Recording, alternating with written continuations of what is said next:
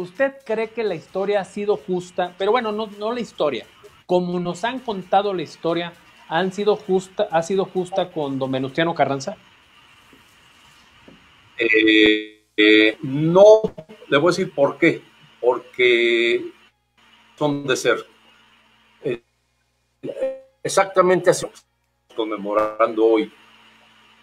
Carranza es eliminado, es un golpe de Estado, empezando por prácticamente los libros no lo reconocen como golpe de Estado. ¿Por parte de quién? De los sonorenses. Obregón, Calles y de la gobiernan posteriormente el país durante varias décadas.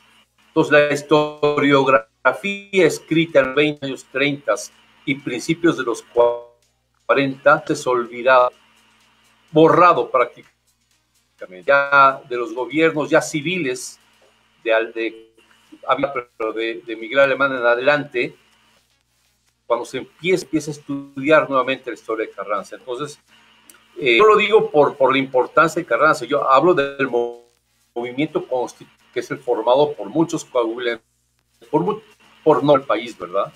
Ese movimiento constitucionalista rodeado de grandes hombres, es una generación tan comparable como la de Juárez, otros civilistas. Entonces, el que no se conozca, que no, se trabaje como la prueba de Carranza no es casualidad. En un inicio fue inducida, se conoce prácticamente nada más por dos cosas, por haber con la Constitución.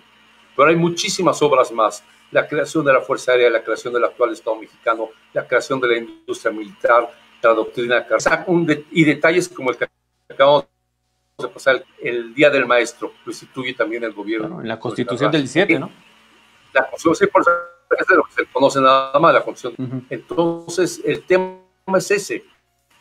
Eh, fíjese, hubo en el poder con todo y, las dos etapas, primer jefe del ejército constitucionalista y luego presidente, siete años nada más. Esos siete años no hubo un solo día de paz.